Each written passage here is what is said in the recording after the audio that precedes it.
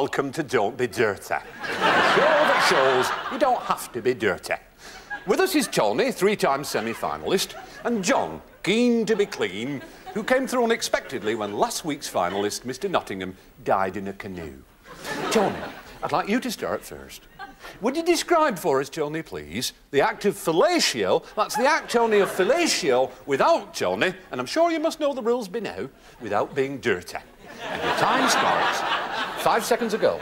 Uh, this uh, is an act that takes place between two people, uh, possibly of opposite sexes, but possibly not.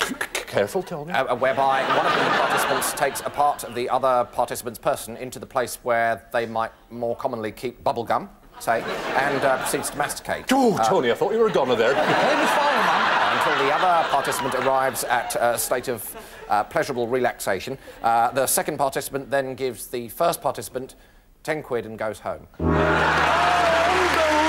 Can no one beat this big man from Hunstanton? Well, John, it's up to you. Now, your topic is the preservation of hardwoods. And the time starts then. Well, this is a very necessary business operation. Uh... Tony's challenged. He said business. you did say business, John, you did. A little bit dirty there. Minute away, but plenty of time to go. Operation that has to be carried out if developers are not to raise our hardwood forest.